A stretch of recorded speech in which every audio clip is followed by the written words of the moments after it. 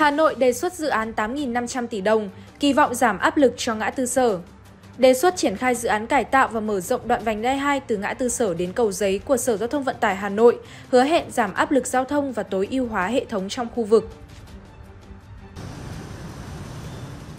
Thưa quý vị, hiện tại tôi đang đứng tại đường Láng, hướng đi từ Láng đi ngã tư Lê Văn Lương Láng Hạ và nơi đây thường xuyên xảy ra tình trạng ùn tắc và đặc biệt là vào giờ cao điểm. Bình thường mỗi ngày em chạy xe qua đây thì chỗ đường Láng này rất là tắc ạ. Và nhất là những chỗ ngã tư này, các cái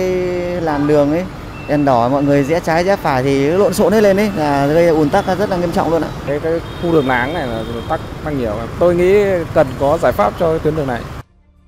Mới đây nhất, Sở Giao thông Vận tải Hà Nội vừa đề xuất thành phố ưu tiên chuẩn bị đầu tư với dự án cải tạo, mở rộng tuyến vành đai 2 trên cao và dưới thấp đoạn ngã tư sở cầu giấy nhằm giảm tải áp lực giao thông cho nút giao này và phát huy hiệu quả đoạn Vĩnh Tuy ngã tư sở. Dự án này có quy mô mặt cắt rộng 53,5 m, dài 3,44 km với tổng mức đầu tư dự kiến là 8.500 tỷ đồng. Mục tiêu của dự án là giảm áp lực giao thông tại nút giao ngã tư sở và tối ưu hóa đoạn từ Vĩnh Tuy đến ngã tư sở.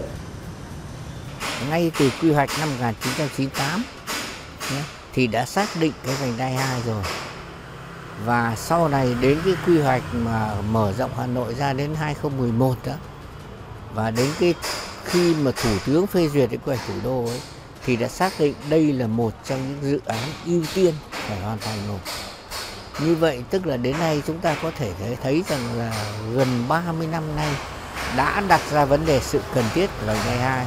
cái hệ thống giao thông của Hà Nội mang tính đặc thù là các tuyến đường vành đai, thì chúng ta không chỉ có cái vành đai đối ngoại, vành đai 4 mà cái vành đai kết hợp với những ý nghĩa văn hóa là vành đai hai cũng cần sớm hoàn thiện đi. Có được như vậy thì sẽ nâng tầm vị thế của Hà Nội lên, nó tạo sức cạnh tranh lớn và nó càng hướng tới một cái Hà Nội văn hiến, văn minh và hiện đại.